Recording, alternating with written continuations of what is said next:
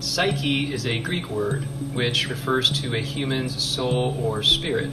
I chose this word, psyche, for this presentation because it represents the totality of the human existence. I want to take a moment to draw some correlations behind this idea that everything is a pattern by examining some things in nature and the world around us that exhibit patterns or cycles. And if we really think about it, a pattern is basically a cycle. All around us, every day we see examples of cyclical patterns.